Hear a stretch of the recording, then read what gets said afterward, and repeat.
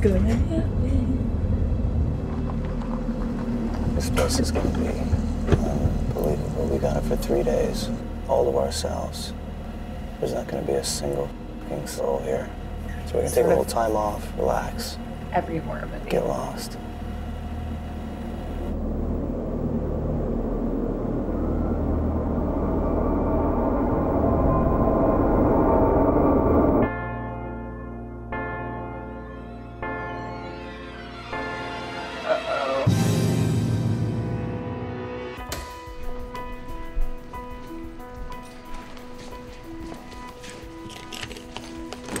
Us a note.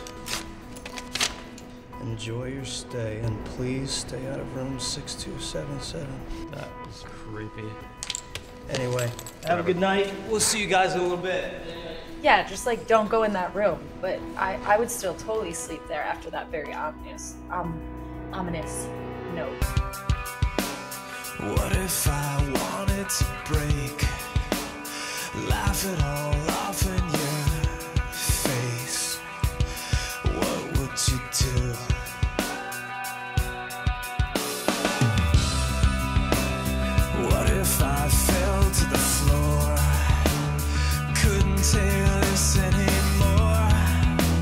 good.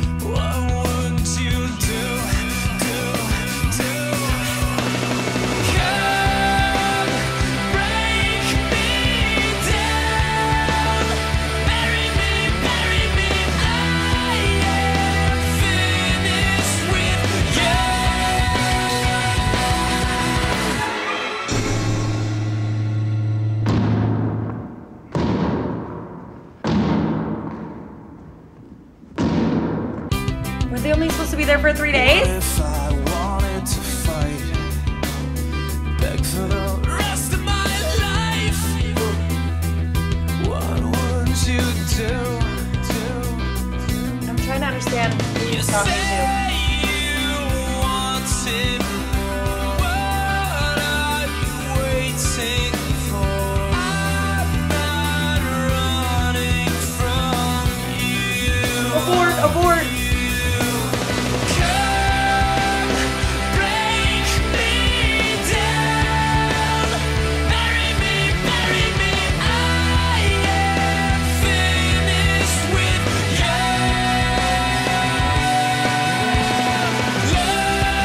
That like a Carrie moment?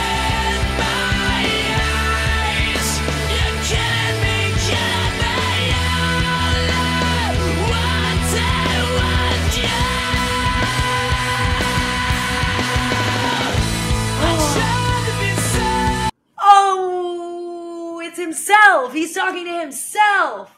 Like the other side of himself. Oh, that's good. Oh, that's so good.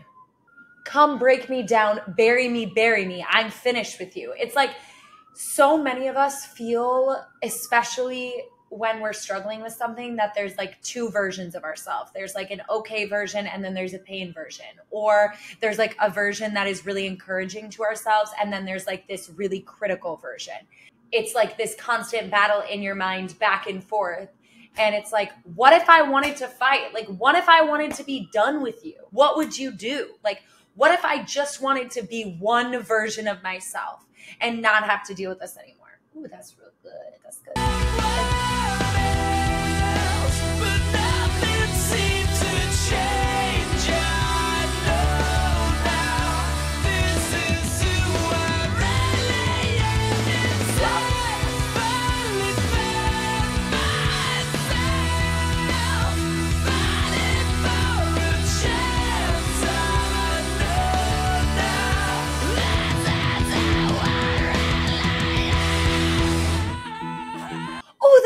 It's like the the the true version of yourself.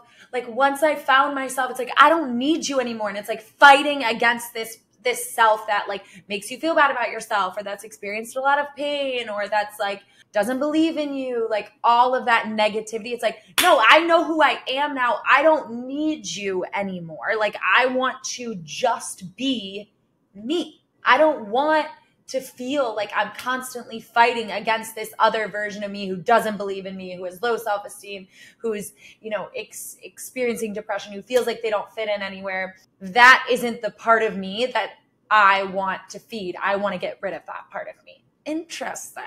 Okay if you feel like you can relate to there being two different versions of you, like one that believes in you and one that doesn't, one that's in pain and one that wants to fight for life, share in the comments below by tagging at Heart Support and we will encourage you.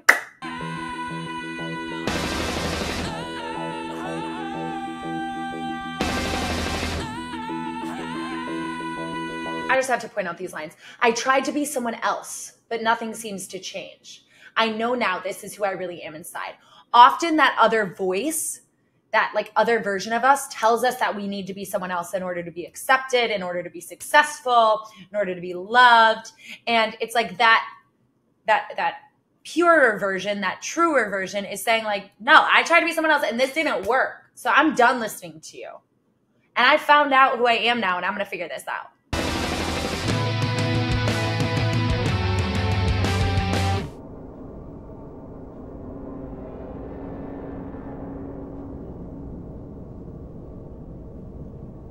Like. oh my god, no!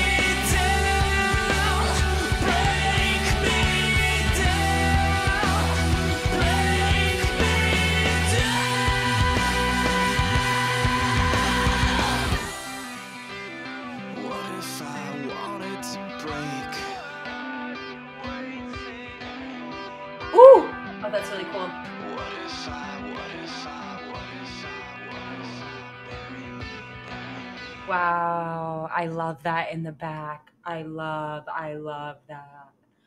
Okay, you guys, this song is really interesting. I really like this message. And and I think that it's really powerful.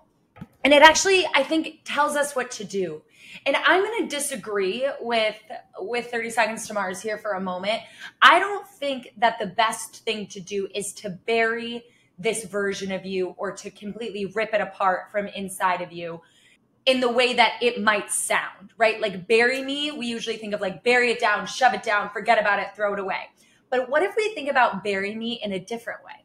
What do we think about bury me in terms of like when we bury things in the ground, flowers or humans, not to get morbid, but eventually they will decompose and become a part of the earth and allow for new things to grow.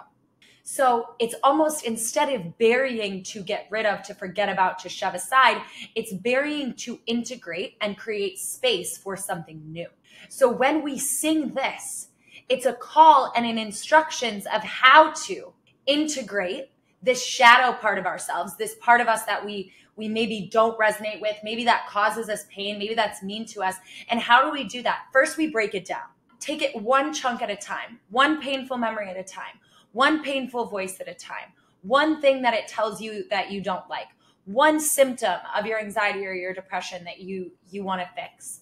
One thing at a time, break it down, understand it, get to know it, and then integrate it so that new things can grow. Acceptance is a big part of integration, not burying to shove away and kill and destroy, but burying to plant. That's how we how things grow is we plant them. You're going to take this pain, this person, this version of you that's causing you pain, has experienced pain, and you're going to take it chunk by chunk, piece by piece. Once you do that, you'll be able to understand it, you'll be able to integrate it and bury it like you would a flower, and then something new will grow. If you want to be someone who uses music to make meaning and help other people, check out my five songs to do exactly that by clicking the link down here. We'll get you in and we'll get you all the goods. Okay. I love y'all. Have a good day. Mwah.